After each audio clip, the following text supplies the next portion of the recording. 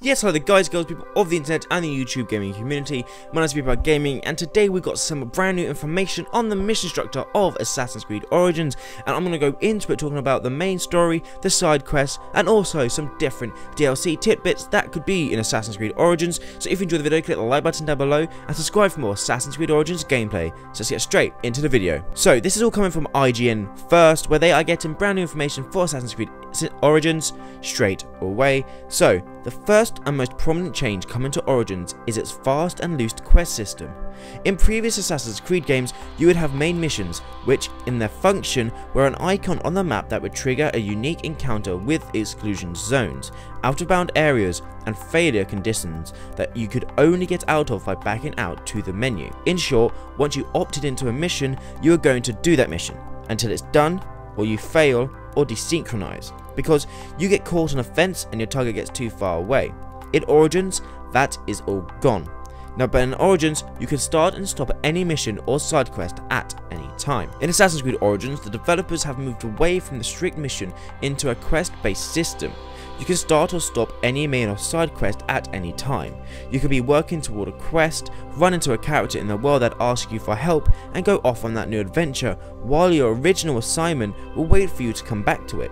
This means the notion of exclusivity is gone, allowing you to jump into unlocked between whatever you want to do. That also allows for interesting interplay when it comes to completing objectives.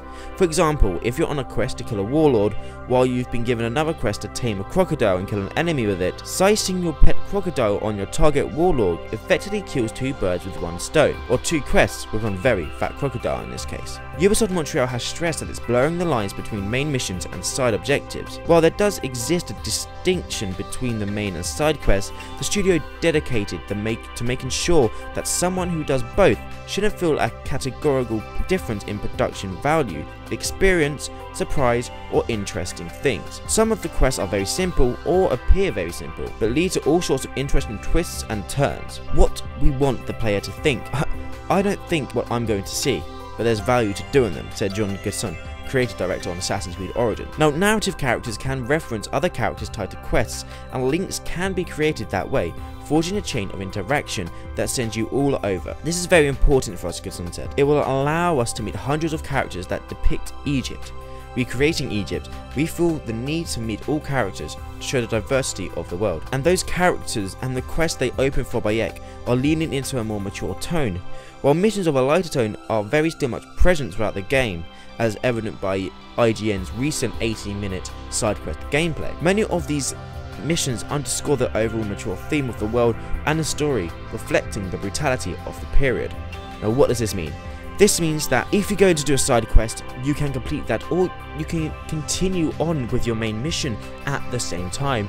This means, as said previously, you can have a side quest where you have to tame an animal and then kill someone with that animal. But you can do that while completing the main mission. You can call the animal to you to attack your main assassination target, which just sounds amazing. And this game, this story line, this whole quest aspect of Origins truly shows to me that they are they are creating one of the best games that they can possibly create. And for me, I haven't played the game yet, but it already seems to be Game of the Year material. The guys and girls, that has been my video on Assassin's Creed Origins, the quest and storyline mission concept. Hope you guys enjoyed the video. If you haven't, click that like button down below. Comment what mission you want to be able to play in Assassin's Creed Origins. And guys, subscribe for more Assassin's Creed Origins gameplay, information and theory videos, and all-round Assassin's Creed videos. Bye for now guys, have an amazing day, and I'll see you in the next video.